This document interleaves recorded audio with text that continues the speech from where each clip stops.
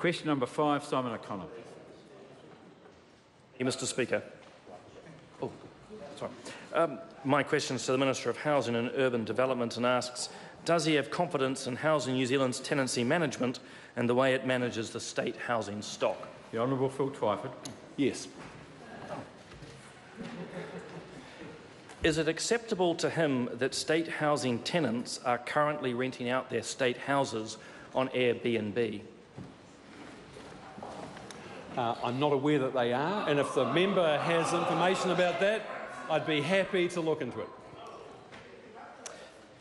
How can he not be aware if his officials advised the Social Services Select Committee yesterday that this is definitively the case? I was aware that uh, MSD officials at the Select Committee talked about the effect of Airbnb in regional housing markets and the effect it's having on housing demand. But I have to say I wasn't aware there was any suggestion that Housing New Zealand tenants were leasing out their properties on Airbnb. Will he be taking any steps to stop this happening? And if so, how? I will certainly look into it. Jo Luxton. What progress has Housing New Zealand made in increasing the state housing stock? Mr Speaker, we are making very good progress building more public housing. Housing New Zealand built 598 new properties in the June quarter, and there are 1,643 new Housing New Zealand properties currently under construction.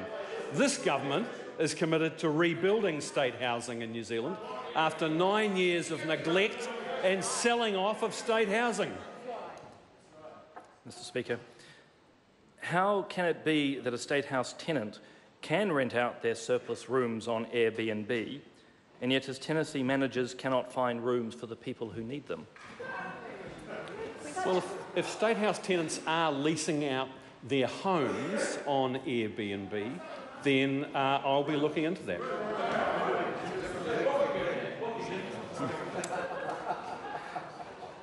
Is it acceptable, Minister, for existing state house tenants to rent out houses and homes when we have the largest waiting list in history under this government?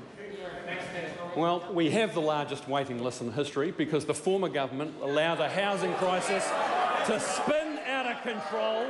We've seen the worst homelessness in living memory for the last three winters, and that government sold off state housing for nine years, reducing the total stock of public housing by 1,500 in the middle of a housing crisis.